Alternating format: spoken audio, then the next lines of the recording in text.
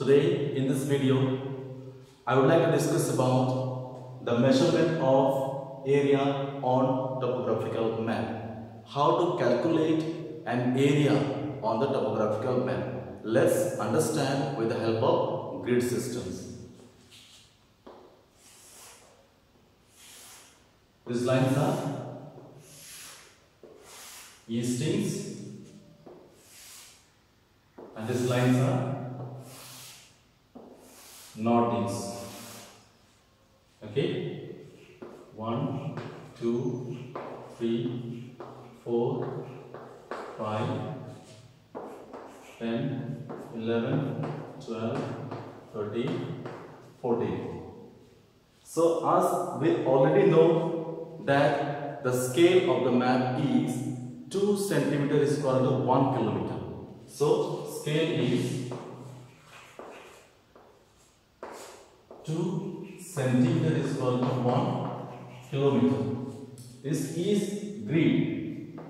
This is 2 centimeter is equal to 1 kilometer. This side also is 2 centimeter is equal to 1 kilometer. So this is 1 kilometer, this is 1 kilometer. So complete grid will be of 1 square kilometer. Right.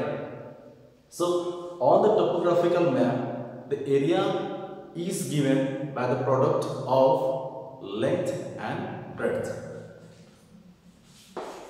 Area is given by the product of length multiplied by breadth.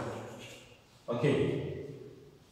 Let's take one example and to understand in better way how to find out the area.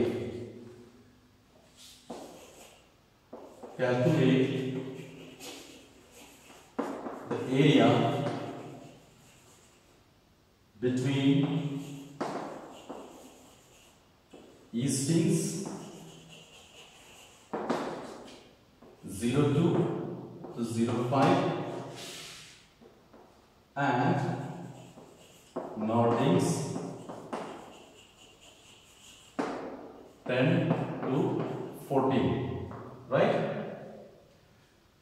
eastings 0 to 2 5 and northings 10 to 14 there are different simple ways are there to calculate the area of the topographical map. Like simply you can uh, calculate directly without doing any mathematical cal- calculation.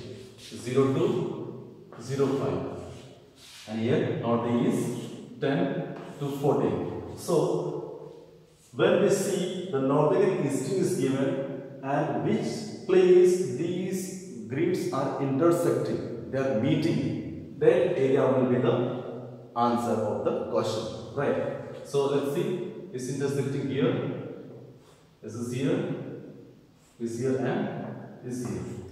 So this is the area this is the area that our answer will be right?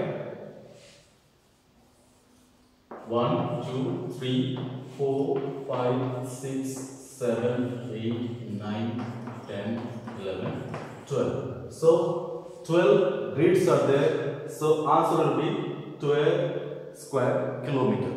Directly we can write without solving the uh, questions. Directly when you count the grid you can write 12 square kilometer. But there are other another ways